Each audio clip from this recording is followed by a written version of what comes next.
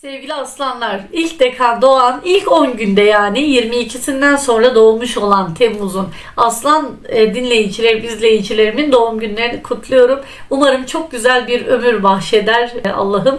Bu haftaya Jüpiter'le Venüs'ün bir kare açısıyla başlıyoruz. Hemen sonrasında salı günü de Merkür'le Mars'ın kare açısı var. Bunların meali şu.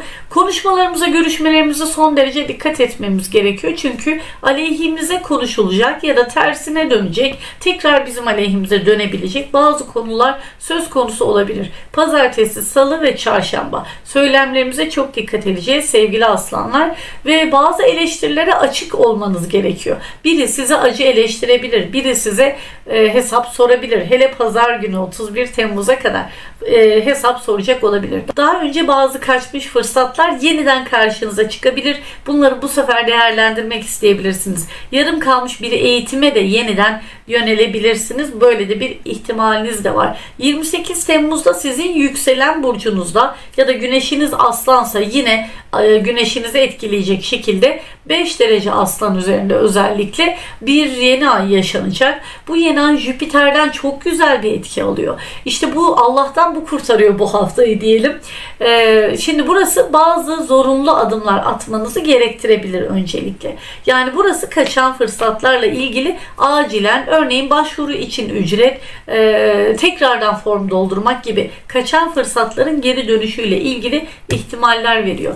29'unda Merkürle Uranüs kare açı yapacak. Söylediklerimiz, söylemlerimiz e, böyle biraz bizi sinir edebilir. Aleyhimize söylenmiş sözler bizi sinir edebilir ve bunlar önemli. Eğitime dayalı bir iş yapıyorsanız da çok ön plandasınız. Yani e, fırsatlar geliyor bir kere. Eğer eğitmenseniz, öğretmenseniz, e, okullar, kreşler yönetiyorsanız özellikle fırsatlar geliyor. Eski ve yeni, eskide kalmış tekrardan önünüze gelecek fırsatlarla birlikte yeni yeni e, noktalar. Ama ailevi konularda, ikili ilişkilerde, sevgiliyle ilişkiler demeyelim de hadi e, karı koca ilişkilerinde ve anne babanızla ilişkileriniz diyelim. Orada biraz gergin durumlar, tutumlar olabilir.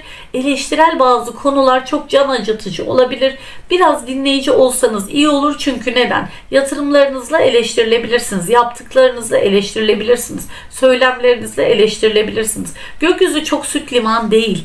Ee, videomun en başına dikkat ettinizse sizin için hafta boyu 7. evinizdeki Satürn'ün e, iyi bir açısı yok. Özellikle 5 derece civarında yükselen dereceniz, başlangıç dereceniz varsa 0 ile 10 derece arası ise doğrudan siz etki alırsınız. Eşle olan ilişkilerde, anne babayla otoriteyle olan ilişkilerde buna dahil 31'inde bol bol nasihat, emir veya e, eleştiri dinleyecek olabilirsiniz. 31 Temmuz'da biraz dikkat edelim e, söylemlerimize, söylediklerimize. Parasal konuları konuşmak için hafta sonu iyi ama spekülatif bir yatırım yapmak için çok iyi değil. Yepyeni bir işe başlamayı planlıyorum diyorsanız da lütfen 1 Ağustos'tan sonrasını ayın artık hilal fazını değerlendirin derim. Umarım çok güzel bir hafta olur. Sevgili danışanlarım, sevgili takipçilerim 27 Ağustos'tan itibaren yepyeni bir eğitim dönemine başlıyoruz. Sadece ve sadece uzman astrologlar yetiştirmek üzere ve sadece bu işi çok ciddiye alacak olan arkadaşları bekliyorum.